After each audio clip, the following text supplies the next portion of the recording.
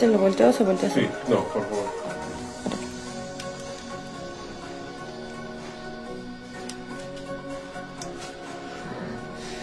Nada más los dos, ¿verdad?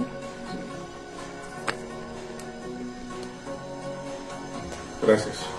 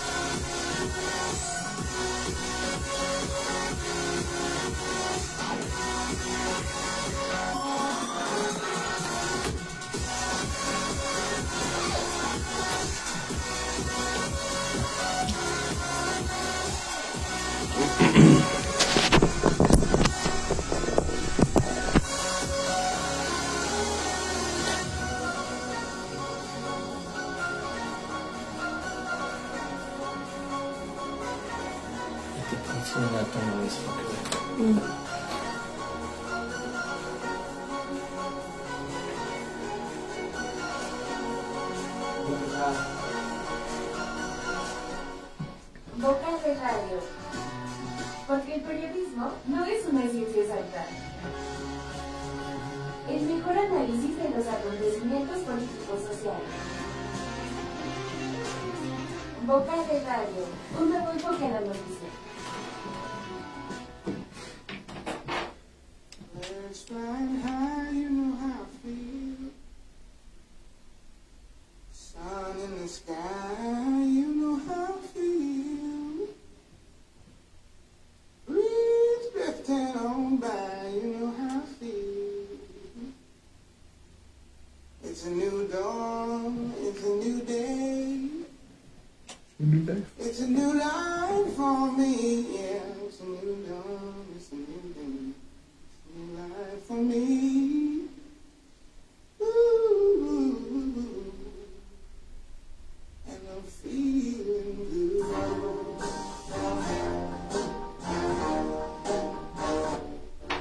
Muy buenos días, bienvenidos a Las Vocales Radio. Gracias por sintonizarnos a través de la red de Hidalgo Radio y por supuesto en el 12.1 de televisión, el canal del pueblo.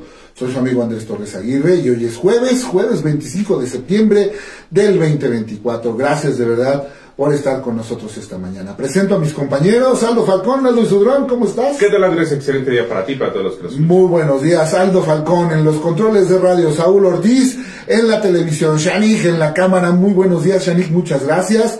Gracias a mis compañeros también en las estaciones, el vocero Huasteco, el 1010 de AM, allá en Huejutla, por supuesto en el 92.7 de frecuencia modulada, la Huasteca FM, en el Valle del Mezquital, la voz del pueblo ñañú, radio y televisión de Hidalgo ya tiene nuevamente, eh, abrimos allá por el mes de marzo, nuevamente Radio Mezquital, estamos transmitiendo en lengua ñañú y por supuesto en castellano desde el 96.5 de frecuencia modulada. Muchas gracias también a mis compañeros del 91.1, la voz de la Sierra Gorda de Hidalgo, allá en Jacala. Muchas gracias a todos ustedes por seguirnos a través de estas frecuencias. En todas las redes sociales, ahí están las vocales. Estamos. ayúdame porque son muchas. Claro que sí, si gustan ponerse en contacto con nosotros, lo pueden hacer a través de un correo electrónico en vocalesradio.online.com.mx. En X nos encuentran como arroba las vocales radio. En Instagram estamos como vocales-radio. Y no olviden suscribirse a nuestros canales de Spotify y TikTok, nos encuentran como vocales radio. Y también tenemos nuestro número de WhatsApp por si gustan mandarnos alguna imagen, algún mensaje, un mensaje de voz. Es el 771 150 8105. Se lo repito, 771 150 8105. Muchas gracias de verdad por ponerse en contacto a través de alguna de estas redes sociales. Estamos también en Spotify, estamos también en YouTube y nuestra página oficial, nuestra plataforma de noticias www.vocalesonline.com.mx. Tenemos todas las redes sociales y bueno, pues muchas, muchas gracias por estar siempre, siempre en apoyo a la información que le ofrecemos a través de las vocales. Muy buenos días a mis compañeros también que nos hacen favor de ayudarnos. Romina Sorno, Jazz Islas, Milton Cortés, eh, por supuesto Antares Cervantes y muchos, muchos otros que continuamente nos apoyan para hacerle, ofrecerle a usted lo último y lo más importante en información política y social. Vamos a ir a los temas porque mañana se inaugura la feria, una edición más de la feria de Pachuca, la feria de la capital del estado, la feria de Hidalgo. Y bueno, se vienen muchas sorpresas, hay una enorme expectativa respecto a lo que será este enorme festejo que van a ser casi cuatro semanas, ¿no? Así es. un mes de festejos, habrá cuatro fines de semana y bueno, pues eh, tendremos por supuesto mucha información, aquí le estaremos comentando de las incidencias de este gran evento. Por eso es importante que muy tempranito le digamos cómo va a estar el clima, para que usted se vaya preparado.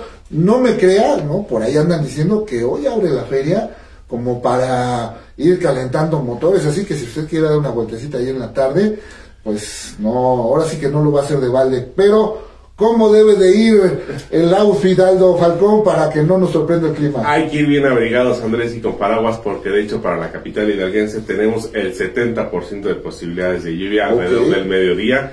Eh, vamos a tener una temperatura máxima de 18 grados y una mínima de 12 grados, y como te comento, alrededor como de la una de la tarde se va a empezar a sentir la lluvia. Híjole, va a estar complicado. Entonces hoy no es un día para lavar, ni tampoco es un día para llevar el carro al, al, este, al lavado tampoco, ¿no? Porque es muy probable que acá en la zona metropolitana de Pachuca tengamos lluvia por ahí así del mediodía. Yo le calculo que por ahí así después de las 2 de la tarde, Así ¿no? es, aproximadamente ya se va a empezar a sentir. Tenemos mal clima en la zona del Pacífico y se acerca también, bueno, está esta eh, eh, tormenta tropical o fenómeno climático que se está desarrollando también ahí en la península de Yucatán, ¿no, Aldo? Así es, tenemos estos dos fenómenos naturales que se están presentando, que están afectando principalmente a toda la República. Muy bien, bueno, pues hay que estar atentos.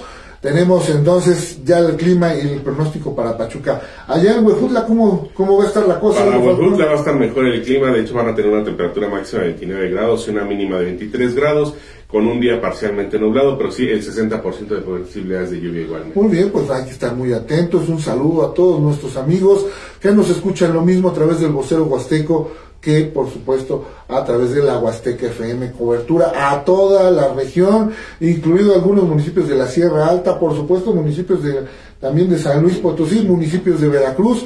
Les mandamos un enorme saludo. Va a llover seguramente, hace mucho calor.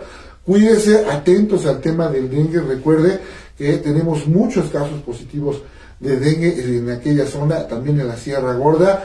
Si usted entre sus familiares o usted mismo presenta estos síntomas que son muy característicos del dengue, que son fiebre alta, dolor de cuerpo, malestar general, no se automedique, asista al médico, vaya al centro de salud más cercano. Recuerde que hay este, muchas soluciones, hay muchas medicinas, hay mucha, eh, bueno, pues eh, los doctores están preparados pues para atender esta situación. No deje que el asunto crezca. Y por otro lado, en casa hay que estar muy atento con estas lluvias, con estas constantes eh, chaparrones que nos han afectado los últimos meses. Bueno, evitar que se acumule el agua. Lo mismo en una maceta que en un botecito que por ahí ande, en la bandeja donde usted le da de comer o le da este agua a sus mascotas, en algún lugar donde pues por alguna coincidencia este pues ahí se puede acumular el agua, eso puede ser un lugar donde el mosquito Aedes aegypti se eh, prolifere y bueno pues tengamos mayores probabilidades de contagio. Recuerde usted que el dengue, el chikungunya, el, pa- el paludismo son enfermedades que se transmiten a través de la picadura de un, picadura de un vector, de un mosquito. Y bueno, estos eh, incuban en, estos, en, estos, en estas situaciones, en estos lugares donde hay agua encharcada.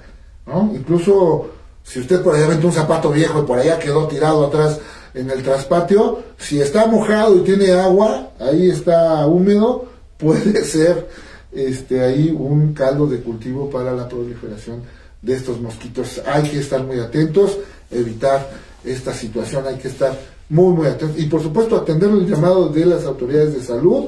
Hay brigadas recorriendo las diferentes regiones, están eh, fumigando Fumigando. y repartiendo información a la población para que se atiendan. Mucha, mucha atención, sobre todo allá en la Sierra Gorda de nuestro estado, en el Valle del Mezquital y por supuesto en la Huasteca y en la Sierra Alta. Muchas gracias a todos ustedes por su atención. Así es, de hecho también la Secretaría de Salud está realizando, como comentas, estas fumigaciones acompañados de los eh, servicios de- municipales, también como por ayer algunas imágenes que se compartieron en el municipio de Casquillo y Simapán, donde se ven estos, estos personales de la Secretaría de Salud. De hecho, para el municipio también de Ixmiquilpan se esperan lluvias para el día de hoy, con una temperatura máxima de 23 grados y una mínima de 16 grados. Muy bien, bueno, pues también allá en el Valle del Mezquital va a llover, ese es el pronóstico. Cuídense mucho. Nada más acoto el bellísimo municipio de Tosquillo. Claro que sí, Por bellísimo municipio de No, Tosquillo. yo te pido con todo respeto que te refieras que como se, como se debe a, a, a este, al- al- a este municipio allá en el Valle del Mezquital. Los límites, Tasquillo se encuentra en los límites del Valle del Mezquital y la Sierra Gorda, como usted lo quiera ver. De un lado, pues el lado de Simapán, pues Sierra Gorda, del lado de Smijilpan, pues este, Valle del Mezquital. Entonces, bueno, eh, eh, están estas brigadas de, de especialistas del sector salud fumigando con estos temas del dengue. Cuídese mucho. Bueno, por otra parte, Aldo Falcón, tenemos también tráfico acá en la zona metropolitana de Pachuca. Nos están reportando que nuevamente el estacionamiento Colosio está todo lo que da, ¿no? Así es, en el estacionamiento Colosio, principalmente desde el, eh, la carretera y de esta conocida plaza que baja desde el Mineral de la Reforma para incorporarse al Puente de la Paz. para- y también- ¿En Plaza Q? Ah, exactamente. Al puente atirantado por el Boulevard Felipe Ángeles también tenemos carga vehicular. Y sobre la carretera Pachuca Ciudad Sagún también tenemos afectaciones viales. Cuídese mucho, es importante respetar los límites de velocidad. Sí, de repente es muy complicado, enfadoso, ¿no? Encontrar tanto tráfico, todo el mundo quiere ir hacia el mismo lugar y pasar primero. Entonces, bueno, si usted eh, ya va saliendo de casa, eh, le avisamos, está muy congestionado el Boulevard Colosio, también el entronque con el Boulevard Felipe Ángeles, como siempre en las puertas de o a la entrada de las escuelas hay muchos, muchos vehículos estacionados, la mayoría de ellos en doble fila, unos hasta en triple fila. Nosotros le pedimos tengan precaución, tómenlo con calma. Bueno, la cosa fluye, son horas pico, son apenas las 7 con 11 minutos de la mañana. Entonces, bueno, hay tiempo. Si Hay usted viene en el transporte público y nos viene escuchando, muchísimas gracias. gracias. muchísimas gracias, le agradecemos, le mandamos un saludo, llegue con bien y que sea un día lleno de éxitos, que sea un día verdaderamente lleno de éxitos. Y le voy a dar otra noticia. Para aquellos que en este momento van a la escuela o se están preparando, es el último jalón, ¿eh? Sí. Mañana hay junta de consejo por ser fin de mes. Y entonces muchos niñas y niños en nuestra no van a tener clase mañana. Pero además les cuento otra cosa. El próximo martes, ya lo aprobaron las y los diputados federales de nuestro país, el próximo martes será día de descanso obligatorio, ya se decretó, porque el próximo martes, primero de octubre, habrá cambio en el poder ejecutivo de nuestro país. Es decir, rendirá protesta como la primera presidenta mujer de México, Claudia Sheinbaum, le entregará a la banda presidencial el actual presidente constitucional Andrés Manuel López Obrador. ¿Esto qué significa? Además de un evento histórico en la, en la eh, pues, el camino de nuestra nación, en la historia de nuestra nación, además de eso también significa que no habrá clases. Entonces, se van alineando los planetas. Yo no sé cómo le van a hacer en la CEP, pero ya ve que las CEP son bien ocurrentes, ¿no? Y sobre todo en el sindicato son re buenos para eso. Algo se les va a ocurrir para que no haya clases el viernes. Sábado, domingo, pues descanso. Lunes, pues ¿para qué, para qué vamos? Exacto, No sí, quiero- ¿cuántos vamos a si la canción dice lunes no quiero, no voy a trabajar, no voy a trabajar. Exacto. martes descanso obligatorio. Entonces no dude que muchos de los que están sobre todo eh, incorporados al sector educativo, no solo en Hidalgo, sino en todo el país, se van a aventar un megapuente desde hoy en la tarde hasta el próximo miércoles, Así es. ¿no? Bendito sea, ¿no? Exacto, que, que les ¿no? Este, no existe la envidia de la buena, esa no existe, dicen por ahí, envidia de la buena, no. Qué bueno que les aproveche. Y los que no, pues vamos a seguir.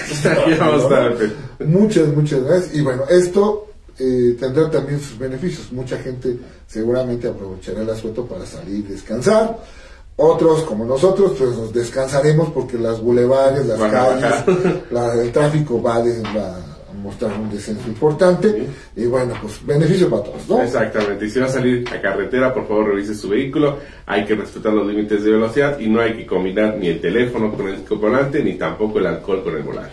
Muy bien, bueno, vamos a ir rápidamente a los temas políticos. Ayer el gobernador Julio Menchaca asistió como invitado especial al segundo informe de la presidenta del Tribunal Superior de Justicia en nuestro estado, del Poder Judicial en nuestro estado, Rebeca Ladro Echeverría. Ahí el mandatario hidalguense dijo que, bueno, pues en el marco de esta entrega, en el marco de esta presentación, exhortó a quienes integran el Poder Judicial a formar parte de las transformaciones impulsadas a nivel nacional.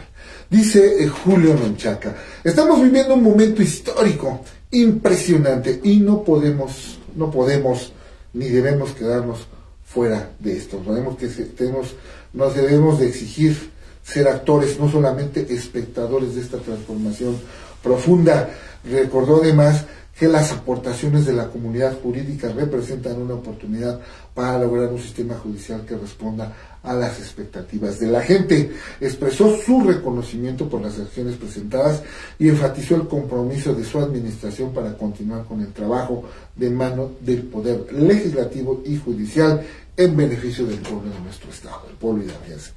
El evento de ayer revistió este, mucha importancia, me parece, por varias cuestiones. Por supuesto, el momento histórico que vive el Poder Judicial, a favor y en contra, ahí te lo vamos a comentar, y no pierdan de vista que Julio Menchaca, actual presidente, actual gobernador del Estado de Hidalgo, en su momento también fue presidente del Poder Judicial en nuestro Estado y conoce perfectamente las entretelas, las entrañas de este asunto. Decía Fernando Sabater, el dragón conoce el dragón desde sus entrañas, ¿no? Conoce las entrañas del dragón. Así que eh, interesante ayer el, el discurso, el, la participación de Rebeca Lado Echeverría también. Me dice Aldo Falcón, estábamos ahí y bueno, pues este mucho para el análisis, ¿no? De los de las eh, los conceptos que virtió la presidenta del Poder Judicial en nuestro estado, Rebeca Ladro. Tenemos un audio donde el gobernador se refiere a este tema. Vamos a escucharlo, por favor. Ha sido un informe donde se aprecia, sin duda, el avance que ha tenido el Poder Judicial. Y, en una manera resumida, se expresa eh, la transformación que se ha venido dando en cuestiones materiales, en infraestructura, en los elementos digitales, pero sobre todo un reconocimiento a la parte más importante, como lo menciona la presidenta al lado de cualquier institución, a las mujeres y los hombres que integran esa institución y que soy testigo de ello en el transcurso del tiempo, realizan su mayor esfuerzo, su talento y su capacidad para poder atender un reclamo tan sentido como es la justicia. El gobernador también dijo que, bueno, pues se aprecia el avance que existe en el Poder Judicial. Al dar cuenta, eh, le decía yo, Rebeca Ladro, de este asunto, bueno, ella se refirió a la iniciativa para reformar la ley orgánica del Poder Judicial del Estado de Hidalgo, a través de la cual garantizan una administración de justicia más sensible, se eliminan las barreras del acceso a quien busca acciones de solución apegadas a la normativa vigente.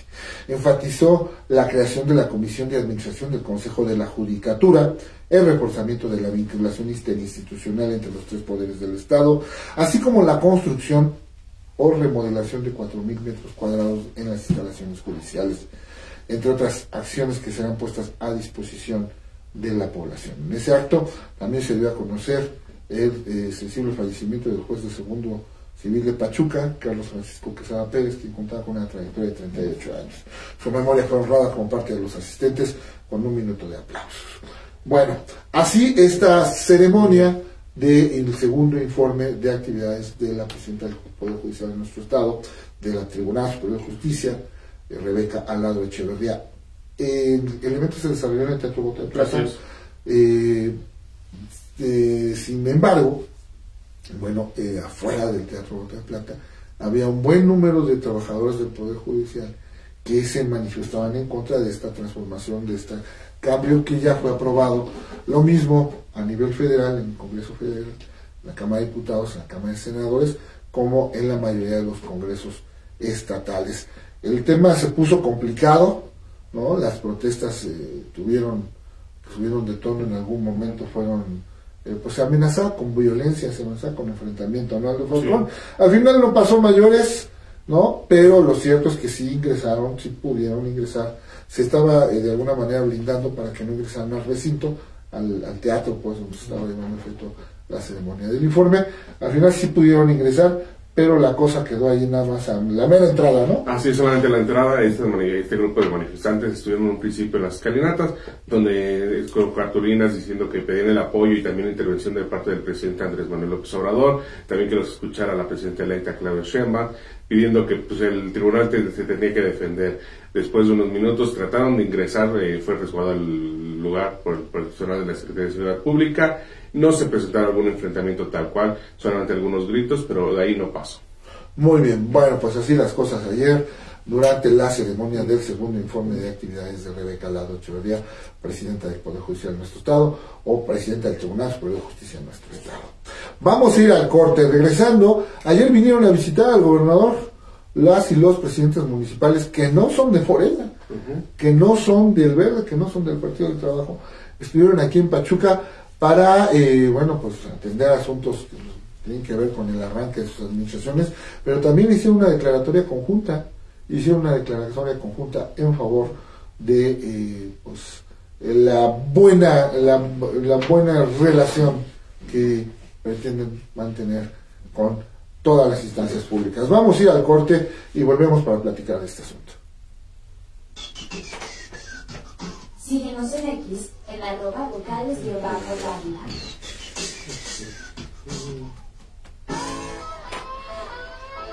Continuamos con más. Estás escuchando Vocales Radio.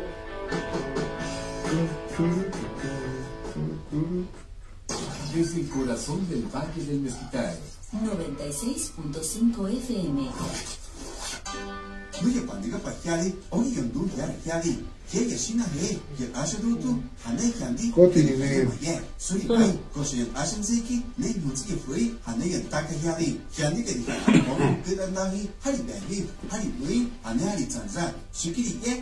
Tsindun tirare he.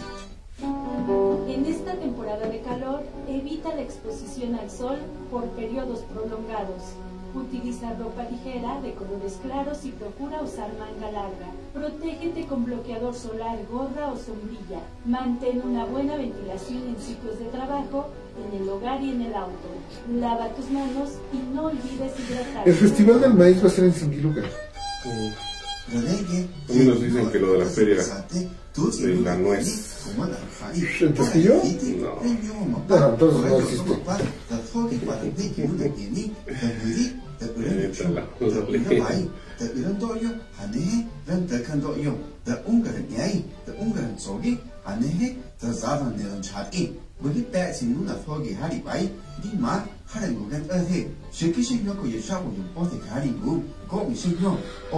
Se mandaron esto, ayer me lo mandó Pipo. La varicela es una infección viral que se transmite a través de las gotitas de saliva que salen al toser, estornudar o hablar. Sí, si descubres que tú o algún familiar en casa presenta fiebre moderada, Por cierto, ayer fue su cumpleaños, muchas felicidades aparición de ronchitas que causan comezón y se rompen al rascarse, acude de inmediato a tu unidad de salud más cercana y sigue las recomendaciones de los médicos. ya. Cuida tu salud. Sí, ese de... No hay otro más. Dice que no puede ser entrevistas. No, no el Valle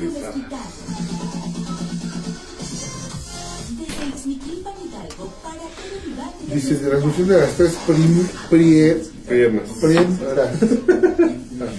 Dios te lo pague. Muchas gracias. Radio Mezquital, la radio de yo. ¿Ilusión?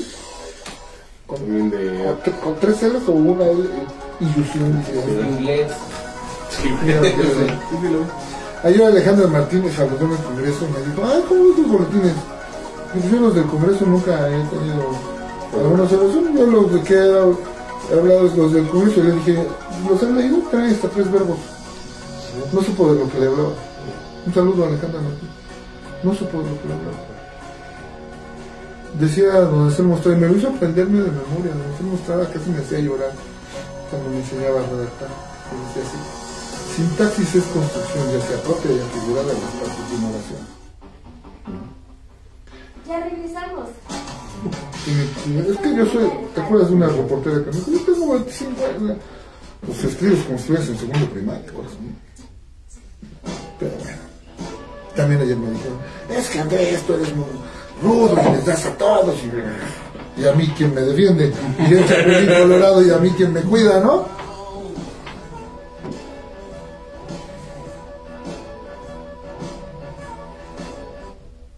Estamos de regreso en las vocales. Gracias a todos ustedes por continuar con nosotros. Estamos en la señal de Radio y Televisión de Hidalgo, en el Vocero Huasteco, en la Huasteca FM, en Radio Mezquital, por supuesto en www.vocalesonline.com.mx, en el 12.1 de televisión, el canal del pueblo y por supuesto en todas las redes sociales, excepto el Tinder, ¿no? Aún no, Aún no, no. todavía aún no, o sea que sí estamos en, en estudio de esa posibilidad. en posibilidad, pero aún No por el creo que tengamos buen éxito, Aldo Falcón. Mejor deja las cosas como están. Está. A ver, tenemos mensajes y saludos. Mientras tanto, pueden seguirnos en Facebook y en YouTube, pueden encontrar este y todos los programas. Así, Muy bien, muchas gracias. Nos escribe Saúl García, dice muy buenos días desde Bojutla. Muchas el gracias, taxi trabajando, muchas gracias. Un saludos. abrazo, un saludo, que sea un día lleno de éxitos.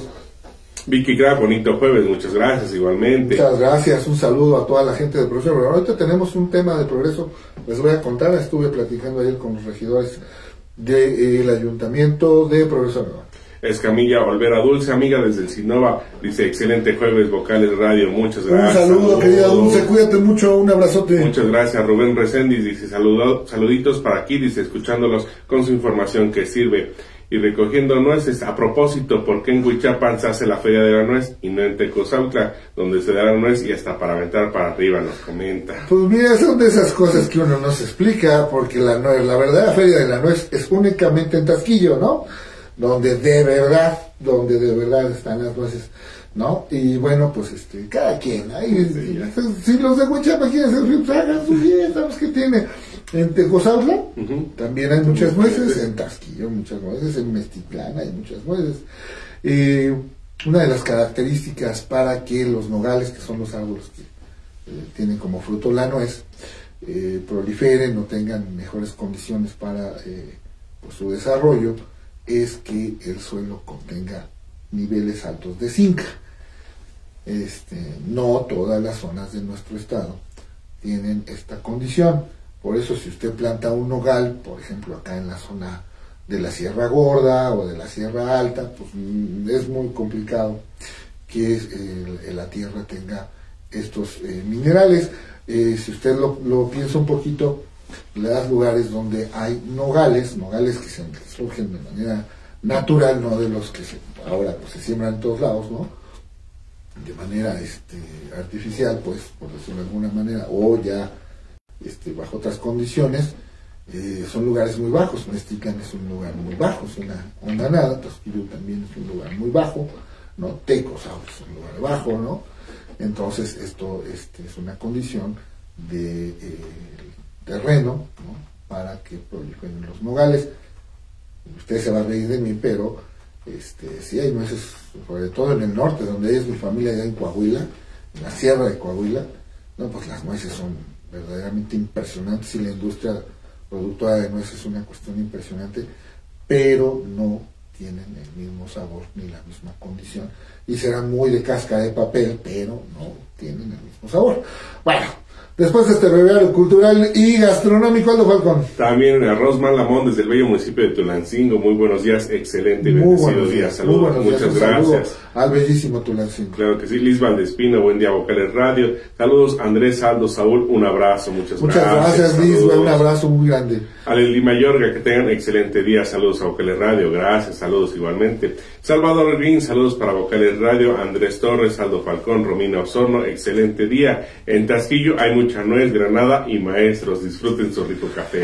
Este, alguna vez, este, platicando con algunos políticos de la región, me, me preguntaban sobre mi ascendencia, ¿no? Sobre de dónde era mi familia, y platicábamos allá del pueblo de Tasquillo. Un saludo a todos mis amigos por allá. Y alguien me dijo de broma, me dijo, bueno, en Tasquillo pasan dos cosas, ¿no? Este, mucha, muchos maestros, hay mucha gente que se ha dedicado, ha dedicado su vida al tema de la educación, y por supuesto estos frutos que son endémicos de la región, los duraznos, las granadas, los higos, las nueces. Y eh, alguien me dijo de broma, sí, es que en Tasquillo tú sacudes un nogal y caen cinco maestros y caen cinco nueces, ¿no? Sí, hay mucha gente que se dedica, mis padres fueron maestros, ambos maestros, mis hermanas, una de mis hermanas es maestra también. La tradición este, allá en, en Tasquillo, el tema de la educación es algo este, muy acendrado por muchos, muchos años. Muchos, muchos de los tasquillenses que hoy están trabajando en las filas del magisterio, egresados de la normal rural Luis Villarreal Mecha, ¿eh? muchas, muchas este, gente de otros tiempos, este, egresados de la Universidad de, de la normal rural de Tlaxcala, de Panotla, Tlaxcala, que era una normal femenil. En, mis tiempos de juventud era una normal rural femenil. Ahí iban a Tlaxcala, a Panotla, y el Meche muchos años fue una, una normal exclusiva para varones. Este, en otros tiempos. Vamos a más saludos y mensajes. Saludos también para Adán Tapia, muchas gracias. Elio Adán, un abrazo, muchas gracias, un saludo. Emma Conde, muchas gracias. José Luis Monroy, Raúl Chino, muchas gracias. Roberto Pérez, Jazz Islas, muchas gracias. Gracias a todos, Jazz, muy buenos días, nos vemos mañana aquí con Jazz para su intervención como todos los viernes. Rápidamente, anuncios que tienen que ver con las presidencias municipales. Eh, por ejemplo, en Singlucan, eh, hablando de todos los problemas que tienen las presidencias municipales, en Singlucan este, ya se como que se desmarcaron de este asunto y consiguieron recursos, no les voy a decir de dónde porque provienen del Vaticano, ¿no? este, para eh, empezar sus primeras obras.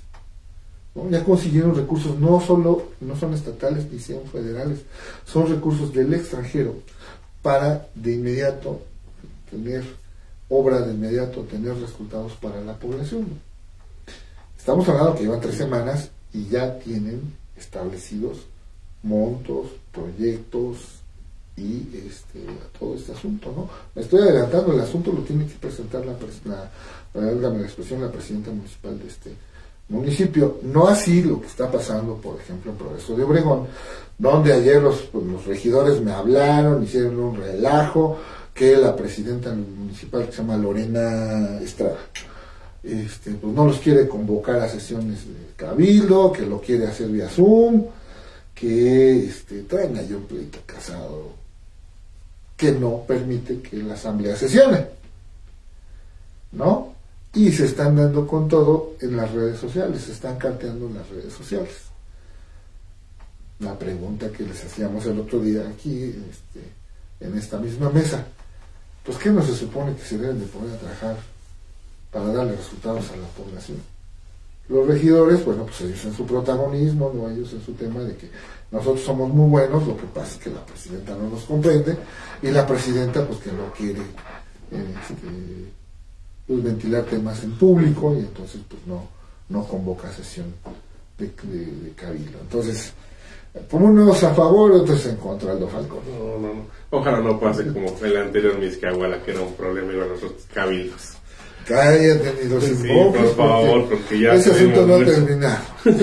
Muy bien, en el marco del Día Naranja, la 66 legislatura de nuestro estado realizó la primera conferencia para promover la concientización sobre la eliminación de la violencia contra las mujeres y se entregó un bien representativo a las diputadas y diputados que portaron todos los días 25 de cada mes estos distintivos, estos colores, estos prendas, ¿no? O sea, había que usar algo naranja, ¿no?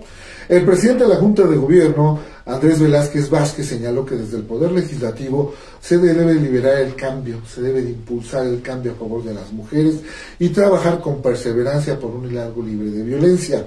Como diputadas y diputados debemos contribuir a construir el futuro para que todas las mujeres y niñas hidalguenses puedan vivir con seguridad. Al dar su mensaje de bienvenida a la titular de la, Unidad Institucional de Género, Mariana Monsalvodines, señaló que el Día Naranja no solo es un recordatorio de la lucha que eh, enfrentan las mujeres, sino de un desafío para atender el tema con urgencia desde el Poder Legislativo. Las diputadas y diputados tenemos la encomienda de trabajar juntos para la construcción de un futuro en el que todas las mujeres y niñas puedan vivir con dignidad y seguridad. Bueno, pues así esta sesión, esta eh, pues conmemoración del Día Naranja allá en el Congreso. Por otra parte, Las y los diputados también en este marco, bueno, pues este, trabajaron para una iniciativa de emprendimiento en el Estado que eh, fue propuesta para exhortar a las diferentes dependencias del Poder Ejecutivo en materia de cultura, salud y violencia de género. En la lectura de las comunicaciones oficiales, el presidente de la directiva de septiembre, el diputado Andrés Velázquez Vázquez, informó que recibieron la minuta de la Guardia Nacional, por lo que la directiva de la Cámara de Senadores del Honorable Congreso de la Unión, la cual será turnada a una primera comisión permanente de legislación y puntos constitucionales para su estudio y dictamen. También la diputada Mónica Lenet Reyes Martínez dio lectura al oficio dirigido a la directiva de septiembre que anexa el acuerdo que contiene el calendario y procedimiento de comparecencias relativas al segundo informe de Estado que guardan los diversos ramos de la Administración Pública Estatal que fue aprobada por la Junta de Gobierno. Señaló que todas las comparecencias serán desahogadas en sesión ordinaria ante el Pleno. Esto es muy importante porque acuérdense que en otros años, en otras eh, gubernaturas o en otras administraciones, las comparecencias se hacían ante las comisiones, se hacían en petit comité, muy a las calladas, muy a lo privado. Ahorita se confirma que todas las comparecencias del el gabinete del gobernador Julio Menchaca en la glosa de su segundo informe serán desahogadas en sesión ordinaria ante el Pleno del Congreso de Hidalgo. En ellas únicamente se abordará los temas de la comparecencia de la o el servidor público acorde a lo establecido en la ley del poder este, legislativo, orgánica del poder legislativo. Así que bueno, parte de lo que ayer se dio en la sesión ordinaria de la Cámara de Diputados aquí en nuestro estado. Cuando vimos por allá, tú este, también viste allá tomando fotos, estuve yo platicando con varios diputados y bueno, pues eh, mucho, mucho trabajo para los próximos días en la 66 legislatura. Así es, de hecho, estas comparecencias iniciarán el 14 de octubre con el, la Secretaría de Gobernación. Esto será a las 11 de la mañana para este mismo día, pero a las 16 horas será la Secretaría de Turismo. Muy bien, va a haber doble sesión a partir de que se arranque este calendario el 14 de octubre. de octubre. Bueno, pues ya prácticamente 15 días, ¿no? Porque ya este fin de semana, pues ya va a ser quincena, ¿no? ¿Cómo lo ves? Sí, yo creo que ya va a ser quincena, pero para el día lunes. Tú lo decretas. entonces. Vamos al corte. Muy bien, www.vocalesonline.com.mx, esa es nuestra página oficial. Vamos a ir a un corte comercial, regresamos en un momento. Síguenos en Instagram en vocales-oficial.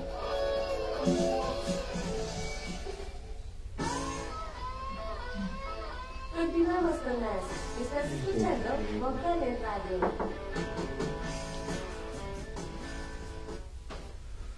¿Qué pleito traen los regidores por todos lados? 96.5 MHz. Radio Mezquital. Desde Ixmiquilpan, Hidalgo, para todo el Valle del Mezquital. Radio Mezquital 96.5 FM. Radio Mezquital, la radio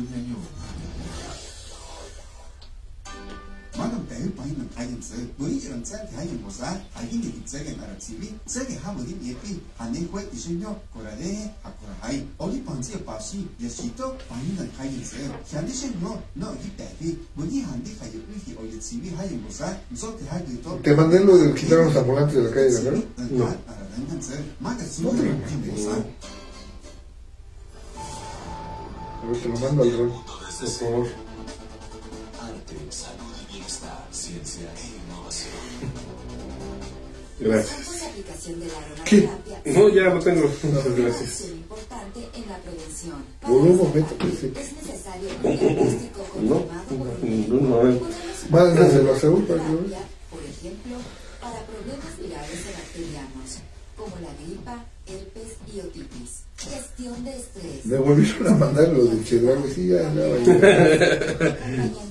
Me volvieron a- Problemas de sueño, de piel. En Chedraui ya te pues, aprovecha tus 248.8 pesos. Están en tu moneda de Chedraui. Dice 30% de bonificación en dulces, chocolates, botanas y eh, 36.